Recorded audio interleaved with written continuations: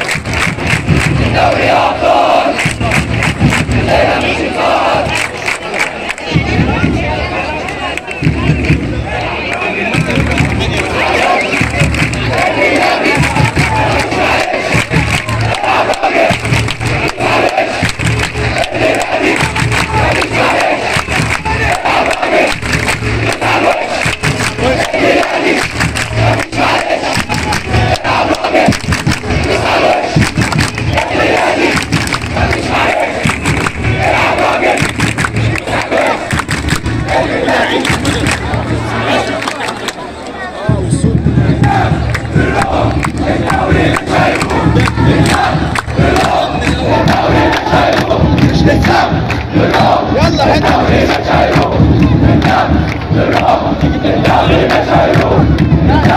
حد اللي بيقول ده مش نزيك